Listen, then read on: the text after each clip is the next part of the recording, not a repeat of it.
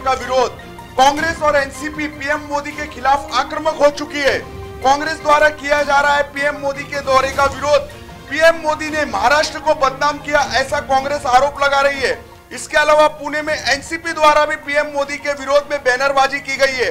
कांग्रेस कार्यकर्ता इस समय सड़क पर धरने पर बैठे हैं। पीएम मोदी पर महाराष्ट्र को बदनाम का आरोप कर पीएम मोदी पर महाराष्ट्र को बदनाम करने का आरोप लगाया जा रहा है। कुछ दिन पहले पीएम मोदी ने देश की संसद में बयान दिया था कि लॉकडाउन के दौरान कांग्रेस ने मुफ़्त में यूपी और बिहार जाने वाले लोगों को टिकट बांटे थे और कोरोना देश के अन्य राज्यों में फैलाया था। इस बयान के बाद से कांग्रेस आक्रामक है। महाराष्ट्र के कई बीजेपी नेताओं के खिलाफ, सांसदों के खिलाफ प्रदर्शन कर चुकी है। उनके घर के बाहर प्रदर्शन किया है। लेकिन आज पुणे पहुँच रहे हैं प्रधानमंत्री मोदी। एक दिवसीय दौरा है। वो वहाँ पर छत्रपति शिवाजी महाराज की प्रतिमा का अनावरण करेंगे।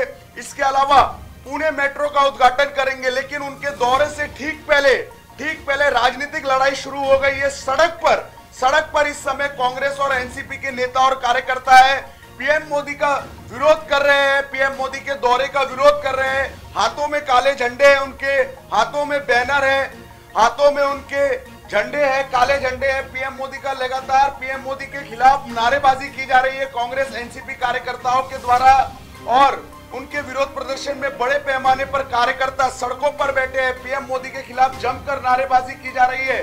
आपको बता दूँ, पीएम मोदी ने कुछ दिन पहले संसद में बयान दिया था कि कांग्रेस ने मुफ़्त में लॉकडाउन के दौरान टिकट बांटे थे और इसी वजह से देश के अन्य राज्यों में कोरोना फैला, क्योंकि लॉकडाउन के दौरान जो लोग जहाँ थे उन्हें वहीं रहना था, लेकिन उन्हें एक राज्य से दूसरे राज्य तक पलायन कराया गया। उन्हें सफ़र करने के लिए मुफ़्त में टिकट दिए गए, जिसके कारण कोरोना फैला और उन्होंने कांग्रेस को कोरोना फैलाने के लिए जिम्मेदार लगाया, जिम्मेदार बताया था।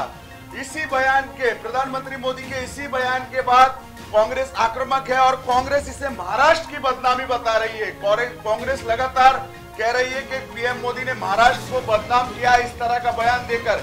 इसी वजह से, इसी वजह से कांग्रेस एनसीपी द्वारा आज आज पुणे में जोरदार विरोध प्रदर्शन किया जा रहा है। सड़क पर बैठ चुके कार्यकर्ता, पूरे शहर में बैनरबाजी की गई है पीएम मोदी के खिलाफ। हालाँकि हालाँकि पुलिस ने भी पीएम मोदी के दौरे के नज़रिए से चाक चौवन व्यवस्था की है। पूरा पूरा पुणे शहर छावनी में तब्दील है इस समय, ताकि कोई भी अव्यवस्था पीएम मोदी को दौरे के दौरान ना हो। आपको बता दूँ, आज पीएम मोदी के उद्घाटन में खुद महाराष्ट्र के राज्यपाल और राज्य के उप मुख्यमंत्री अजित पवार रहेंगे। हालाँकि मुख्यमंत्री उद्धव ठाकरे उनके, उन्हें रिसीव करने नहीं पहुँच रहे यह जानकारी मिल रही है।